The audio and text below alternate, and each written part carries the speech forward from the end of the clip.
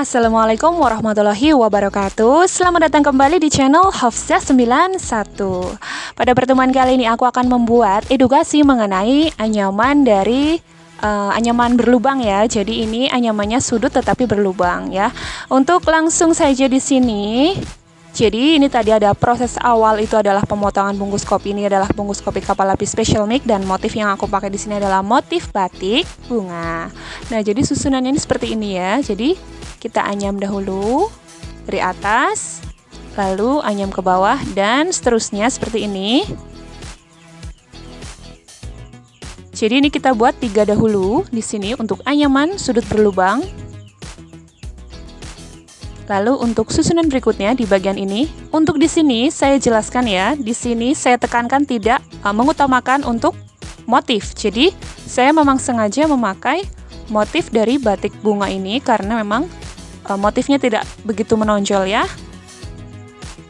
Nah, lalu kita buat anyamannya dengan ukuran 3 kali 3 dahulu, seperti ini. Lalu kita akan membuat anyaman sudut segitiga di bagian pojok, karena nanti akan dibuntuk atau dibuat seperti keranjang ya, untuk bagian atas dari si topi tersebut. Jadi ini anyaman cocok sekali, anyaman sudut berlubang ini cocok sekali untuk diterapkan pada produk topi pantai ya. Jadi ini adalah produk topi pantai dengan ukuran yang saya buat tidak terlalu besar ya. Nah, lalu seperti ini kita buat pojokan segitiga dengan menambahkan anyaman di bagian samping, kanan kiri, atas bawah ya atau bagian pojok semuanya seperti ini. Lalu ditambahkan untuk satu lipatan di bagian tengahnya sehingga terbentuk sebuah anyaman seperti ini. Lakukan kembali pada sisi berikutnya. Iya, ini dia hasilnya sudah jadi ya. Di sini tidak saya percepat videonya karena saya akan mengajarkan untuk bagian pembentukan dari si topi tersebut. Ini di bagian ini, ini bagian pojok atas ya atau saya lebih mudahnya seperti itu. Ini melipat mohon maaf dianyam kembali seperti ini ya. Jadi dibuat anyaman sudut biasa pada ujung lipatan seperti ini. Jadi dibuat anyaman dahulu untuk satu anyaman seperti ini ya. Lalu jika sudah dibuat anyaman kembali untuk sisi sebelah kiri ya. Jadi ada dua. Ini bagian pojok ujungnya sisi kanan dan juga kiri dibuat anyaman masing-masing. Nah, lalu ketemu ujung dengan ujung samping ya, kanan kiri seperti ini sehingga membentuk sebuah sudut segi lima karena memang posisinya di bagian pojok ini harus terbentuk sebuah sudut segi lima. Setelah itu kita anyam kembali sampai membentuk anyaman sudut. Jadi untuk pojokan karena ini yang akan aku ambil untuk tekukan dari si topi tersebut adalah sisi bagian pojok masing-masing. Untuk topi ini ada terdapat empat pojokan sehingga yang saya buat untuk bentuk tekukannya itu adalah dari pojokan. Nah ini seperti ini ya hasilnya. Ini untuk patokan yang utama ini adalah segi limanya.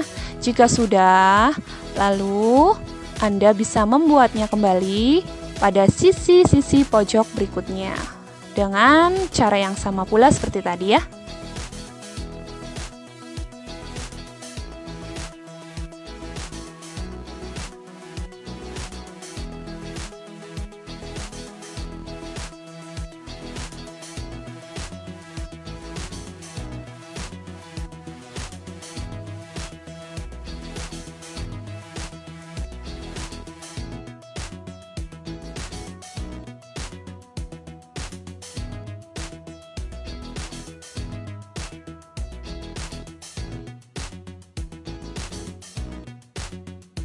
Iya ini dia hasilnya sudah jadi ya. Jika sudah lalu kita menganyam kembali untuk sisi pinggiran semuanya ya. Ini dengan anyaman sudut juga. Memutar semuanya. Jadi untuk yang step pertama tadi sudah membuat keranjang Lalu membuat sudut segi lima Dan yang ketiga ini adalah dianyam sudut berlubang. Nah jika sudah di sini ada terdapat ya 24 sudut anyaman sudut bagian pinggir. Jadi jumlahnya Anda hitung ya. Ini yang ukuran yang saya buat di sini untuk jumlah ukuran 24 anyaman atau 24 anyaman sudut.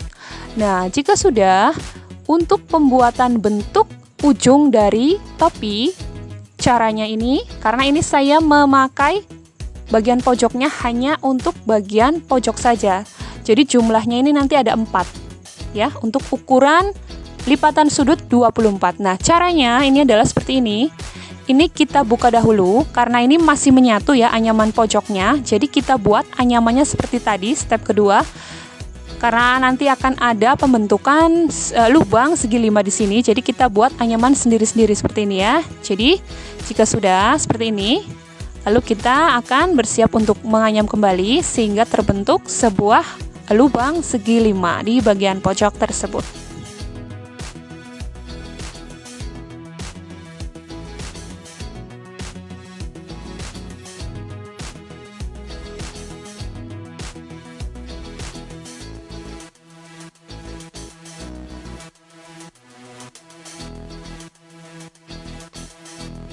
Nah, jika sudah terbentuk, lalu kita akan membuat ini adalah lubang segitiga ya atau pojokan seperti tadi.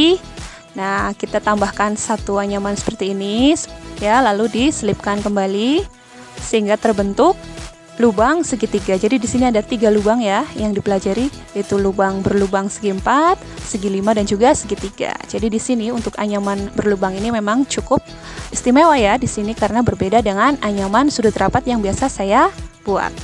Nah jika sudah terbentuk segitiga di sini, ya, lalu dibuat kembali. Ini bagian tengah ya segitiganya ya. Segitiganya ada tiga untuk setiap masing-masing pojok dari topi atau pembentukan ujung dari si topi ya. Ini yang sebelah sisi kanan juga dibuat lubang segitiga lagi seperti ini. Jadi untuk tengah, pinggir, baik kanan maupun kiri. Nah, seperti ini ya. Iya, ini yang bagian sisi kiri atau yang terakhir.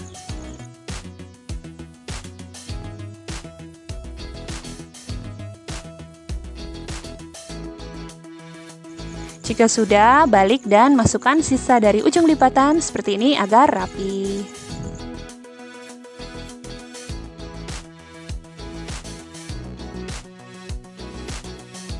Mohon maaf ya, di sini ada sedikit penjelasan atau ralat untuk tadi lipatan yang sudah saya masukkan. Ini untuk bagian sisi kedua, ini ya, dari pojok atas. Ini jangan dimasukkan ya lipatannya ya karena nanti di sini untuk pembentukan segitiga bagian kiri. Jadi diingat-ingat ya untuk memasukkan anyaman lipatannya.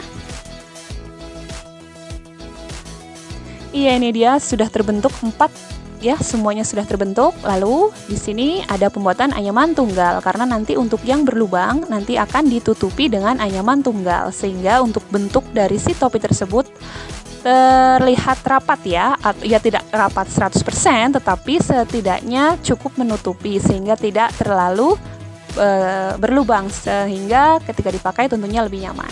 Buat 32 lipatan ya. Lalu kita bersiap untuk menjahitnya. Jadi untuk proses menjahit nah ini untuk motif Anda bisa menyesuaikan untuk posisinya. Untuk menjahit Anda menggunakan benang yang sesuai dengan warna dari si bungkus kopi tersebut jadi untuk menjahit ini hanya menjahit sederhana ya. Dijahit saja pada keempat sisi, yang penting menyatu menjadi satu kesatuan sehingga jahitan tersebut cukup kencang dan juga rapat. Jahit seperti ini.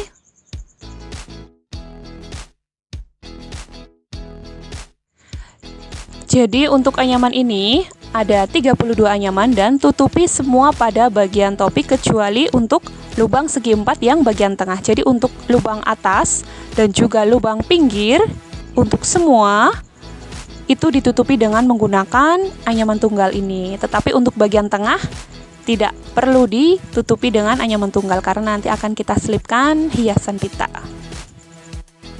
Ya ini dia hasilnya untuk bagian ini ya. Juga saya tutupi karena jumlahnya nanti 32 ya intinya ya. Jadi untuk bagian ini juga saya tutupi dan atas juga untuk yang tengah tidak usah ya karena akan kita pasang pita satin. Ya, di sini pitanya saya menggunakan warna merah jambu atau pink dengan ukuran panjang 150 cm lalu selipkan pada lubang bagian tengah seperti ini. Setelah itu, diikat menggunakan ikatan model pita.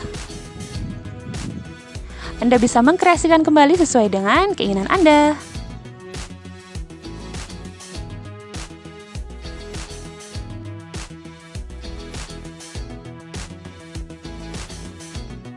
Terima kasih banyak sudah menonton video tutorial dari channel Hofsa 91 dan jangan lupa ya untuk mendapatkan produk kerajinan terbaik dari kami untuk dua orang beruntung setiap bulannya. Sampai jumpa!